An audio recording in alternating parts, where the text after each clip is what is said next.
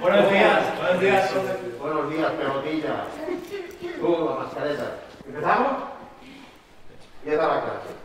Hoy, Omaima nos va a hacer una exposición sobre Al-Ándalus, ¿eh?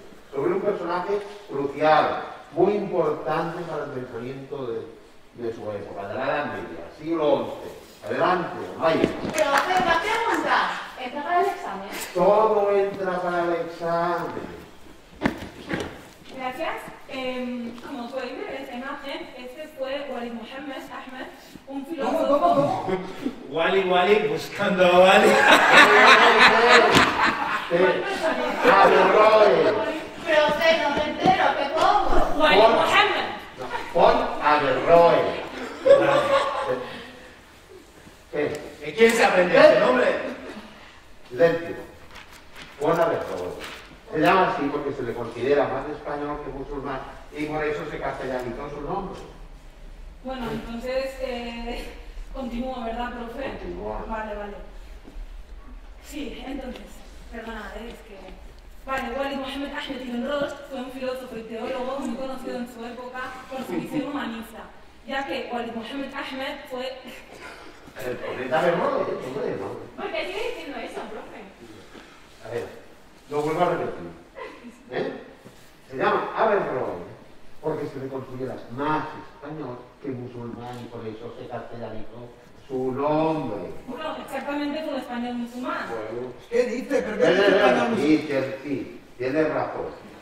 Pero fue un pensador que se adelantó a su tiempo, fue muy progresista. Incluso hizo leyes de protección para las mujeres. Por eso se le reconoce como español. Eh. Continúa. ¿Qué quiere decir? Que los musulmanes nunca han hablado sobre los derechos de las mujeres. Hombre, pues claro. No, no he querido decir eso. Oye, ¿eh? pero profe, ya Ahora sabemos sí. que estas mujeres no tienen derecho. Pero tú qué sabes. Mírate, que hacen llevar panuelo. Espérate. A ver, a ver. Wally jeje, Wally jaja. Yo no me entero, esto no es clase de árabe, es clase de A historia. ver, pon Averroes, que es como vienen los libros de historia. Qué pesados que soy. Venga, continúa, por favor. Se continúa nada. Eh, vale. A ver. Es que no se entiende, de verdad. Eh, sí, pues eso. Walid Mohammed Ahmed Ibn Rushd fue un filósofo y teólogo que, como sí que ha dicho el profesor de manera correcta, muy avanzado a su época, Profe, ¿por qué sigue diciendo ese nombre? ¿Qué pesadito? Ponelo como te la gana. Se llama Barroes. Mejor que nos explique en qué parte del Corán os enseñan a poner bombas. Pero profe, si nos quieren colonizar otra vez. Pero bien. dijo que educación no sería mal, ¿eh? Sí, a ver. Eh, eh, eh. Vale, vale, vale, vale. vale. Lo dejamos aquí, ¿eh? Así no hay quien siga. ¿Eh? Continuaré. O venga, siéntate. No, por mí no. No, ¿cómo no? Es un tema que nos incumbe a todos y a ti también, por favor. Bueno, fue usted quien me lo propuso y ahora quiero hablar del tema. Vas a desengañar, tía, dale manjar a los cerdos. ¡Hey! Mira cómo la defiende, ¿eh? Oye, los yihadistas son ellos, ¿eh? No somos nosotros. Los imbéciles sí sé quiénes son. Pero no ves que te quiere contar su película. Te tomas muy en serio la historia de la Lándalus. Esto es España, entérate de una vez, tía. Entonces no está para el examen.